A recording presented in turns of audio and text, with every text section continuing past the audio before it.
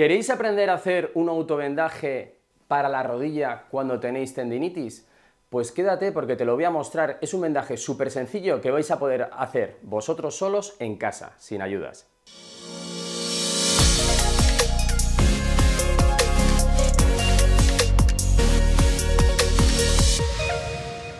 Bienvenidos un día más, una semana más a Fisiolution, vuestro canal de fisioterapia, salud y bienestar. Soy Víctor Hernán, fisioterapeuta de Fisiolution y hoy os vengo a mostrar un vendaje exquisito para el dolor de rodilla, para esas tendinitis que se nos ponen en el tendón de la rodilla, en el tendón rotuliano. El otro día un querido amigo mío, Saup, me contactó por una fisioterapia online, que podéis contactar, contactar conmigo, tener una consulta conmigo online, y me dijo, tengo dolor de rodilla, he hecho mucho ejercicio y me está dando pinchazos. Pero es que ya hace semanas notaba que al inicio del ejercicio la rodilla me dolía.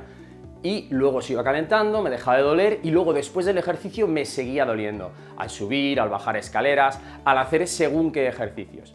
En esta consulta online pude ver que tenía una tendinitis proximal, que es la rodilla del saltador, en el tendón en el tendón del rotuliano, ¿de acuerdo? Entonces, fijamos ahí la lesión. Y me dijo, bueno, ¿qué podemos hacer? Ejercicios de equilibrio, estiramientos, ponte hielo, le expliqué un montón de cosas, pero también le dije, vamos a hacer un vendaje y me ha gustado tanto y le ha ido tan bien que os lo quería traer al canal.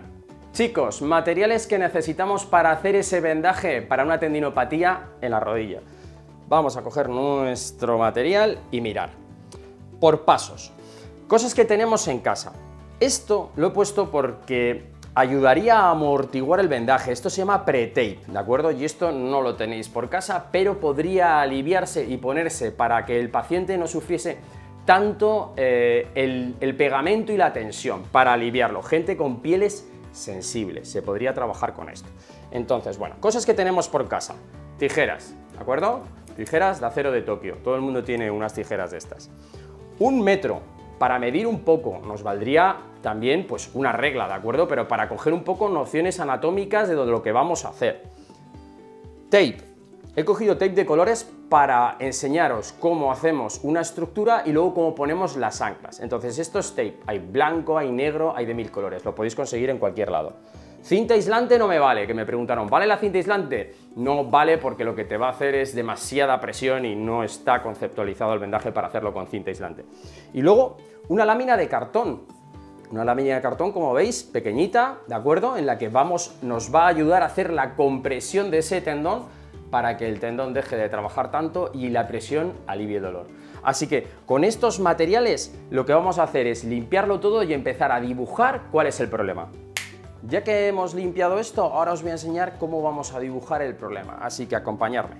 Chicos, referencias anatómicas. Nos vamos a ir a hacer el músculo cuádriceps. El músculo cuádriceps que se ha enfadado en su paso, ¿de acuerdo?, de la rodilla. El cuádriceps salta la articulación desde la espina, espina ilíaca antero-inferior, que sería rebordes óseos en negro, ¿de acuerdo?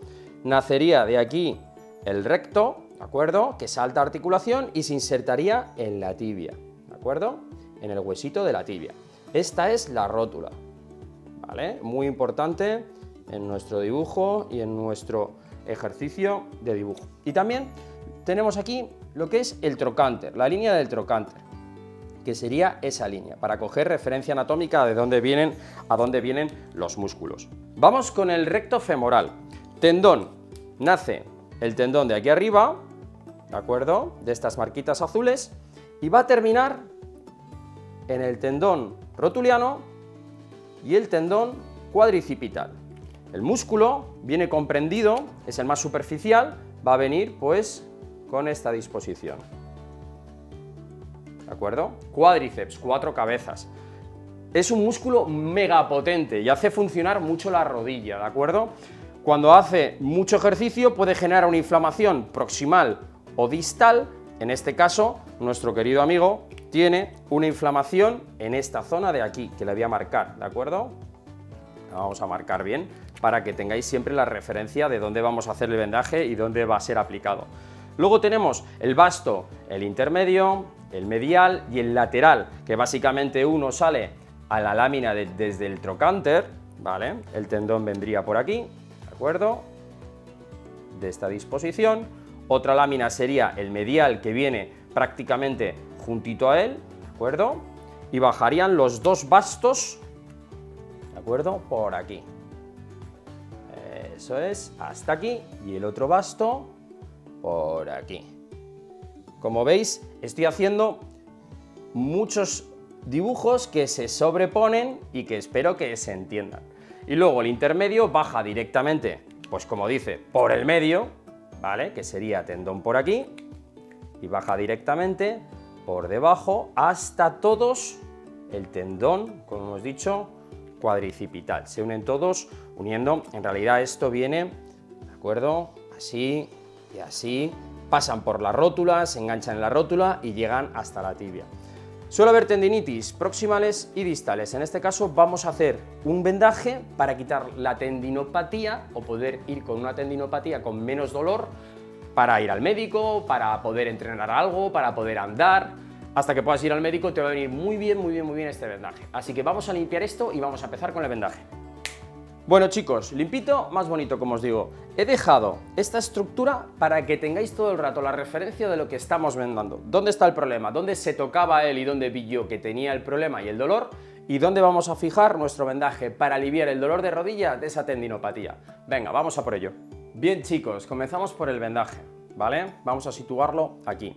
Necesitaremos un metro. Yo tengo aquí un metro de costurero con el que mido pues, las piernas y mido las referencias anatómicas. Entonces lo que quiero es que saliendo de la rótula y llegando a la tibia, midáis cuánto mide el tendón, ¿de acuerdo? Entonces en este tendón pues nos estamos yendo a 2, 2 y medio, ¿vale? Entonces cogeríamos una referencia de 2, 2 y medio, ¿de acuerdo? Para que lo veáis todos, por ejemplo aquí, y haríamos una marquita con nuestra tijera y otra marquita a 2 y medio con la tijera para hacer dos líneas, dos láminas, ¿vale? Habría mucha manera de hacer este vendaje. Podríais sustituir lo que es el cartón, lo podéis sustituir por una pieza de cuero, por una pieza de goma, por una pieza de algo rígido, pero lo suficientemente blando como para que no se clave en la piel, ¿de acuerdo? Que sea cómodo, porque lo que buscamos es una presión que inhiba el dolor y que, y que no deje que se contraiga igual ese tendón. ¿Quién no tiene cartón por casa? ¿Vale? Entonces vamos a hacer dos estructuras así, de 2 centímetros, y tendrán de largo, pues no sé qué decirte. En un principio, pues estaremos llegando a los 10-12 centímetros. Entonces, lo que vamos a hacer es doblarlo. Vamos a coger las tijeritas y vamos a hacer una línea al medio, ¿vale? Para que... Lo bueno del cartón es que es muy maleable. También elijo estos vendajes para hacerlo de cartón, es muy maleable y es muy interesante. Y una vez que lo tenemos al medio, lo que vamos a hacer es otro reborde al medio. Y esta va a ser nuestra estructura principal, la que va a venir en el punto de dolor. Luego me gusta reforzarla con una secundaria, ¿de acuerdo? Entonces vamos a ir haciendo el vendaje para fijar la estructura. Y esto es tan sencillo que tenemos que ir envolviendo las estructuras que vamos haciendo.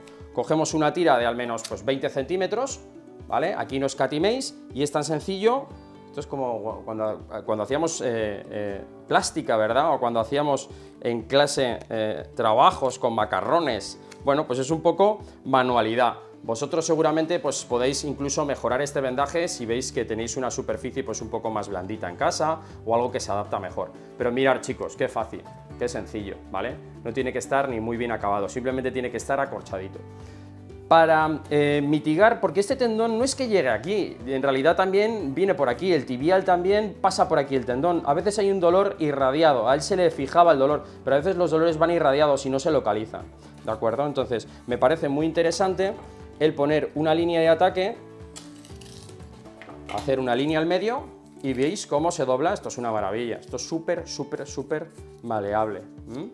Y cogemos otra tirita, esta vez nos tenemos que ir algo un poquito más largo. La tirita, cogemos, estos tapes se parten muy bien, podéis utilizar unas tijeras si no tenéis los dedos entrenados, yo como estoy todo el día partiendo, pues lo parto relativamente fácil y rápido, ¿no? Como veis, lo vamos a dejar al medio y vamos a cerrarlo. ¿Vale? Perfecto. Ya tenemos nuestras dos estructuras, una que va a ir por debajo y la otra que va a abrazar. Entonces, ¿Cómo vamos a hacerlo ahora? Pues muy sencillo. Otro trocito de tape para que vayan juntitas. Eso es, y focalice la fuerza, la ponemos en el medio. Esta quizás debería haberla puesto de otra color para que lo vieseis. Pero bueno, hemos hecho dos longitudinales, ¿de acuerdo? Y ahora uno transversal, perpendicular, para que vaya puesto ahí. Y ahora vamos a hacer el vendaje. Lo vamos a fijar con azul, ¿vale? Deberíamos de tener una metría, ¿veis? Por donde no, por donde pega, no, por donde no pega. Pues que sobrepase el radio de lo que es la pierna. Y vamos a coger una y la vamos a reservar. Vamos a pedir al paciente que sirva así. Vale, se queda pegado, que hay veces que se me quedan pegadas y no puedo. Misma metría más o menos para hacer al menos un cierre con dos o con tres. Vamos a aplicar dos y vamos a ver si con eso pues estamos bien. Tendréis que testar, subir, bajar escaleras, ver que os duele la rodilla, aplicar el vendaje y ver si os ayuda, porque si no le podéis dar más tensión. Bueno chicos, resumiendo, tenemos nuestras dos anclas, que puede que haya una tercera, y nuestro eh, inhibidor, ¿de acuerdo? Entonces, lo vamos a poner en esta estructura y le vamos a dar tensión. Lo vamos a dejar justamente en el medio. Si no es exactamente en el medio, pues tampoco pasa nada, ¿de acuerdo? Como digo, esto es un vendaje que os puede ayudar a no tener dolor durante un tiempo y daros tiempo para llegar al médico y para, bueno, pues empezar a hacer un poquito de ejercicio incluso sin dolor. Entonces, fijando el punto de dolor y haciendo una presión considerable, vamos a poner nuestra primera ancla, que sería aquí y que sería aquí. Perfecto. Esa sería la primera ancla. Ahora ya tenemos eh, la estructura donde queremos que esté. No estamos dando presión, ¿de acuerdo? No le estamos dando presión, simplemente le hemos fijado donde tiene que estar la estructura. lo que es el cartón hay que malearlo un poquito y darle un poquito de energía. Y ahora sí que vamos a necesitar darle presión. Para darle presión sin miedo nos vamos a tumbar sobre el vendaje, en caso de que no lo hagamos nosotros mismos, tendríamos que hacer una fuerza considerable, sin miedo, ¿de acuerdo? Entonces, hacemos fuerza considerable, dejamos la primera ancla por un lado y cerramos. ¿Vale? Y ya estamos ejerciendo más dolor. Digo más dolor, más presión. Esa presión va a inhibir el tendón y va a hacer que duela menos. Para cerrar el vendaje podríamos aplicar otras dos tiras, por ejemplo, medimos y le vamos a meter ahora un poco de rojo para que veáis las diferentes estructuras, ¿vale? Le he puesto una con mucha tensión y ahora lo que quiero es cerrar un poco el vendaje, que quede bonito. Entonces, vamos a hacer una por debajo, ¿vale? Metiéndole un poquito de tensión. Y otra por arriba. Como digo, es muy interesante hacer, antes de hacer el vendaje, constatar haciendo un ejercicio de cuádriceps, una sentadilla, subir, bajar escaleras, para ver que luego el vendaje nos viene bien. Porque, como os digo ahora, le damos un poquito de tensión y cerramos y cerramos. Como os digo ahora, si hacemos el movimiento, ¿de acuerdo?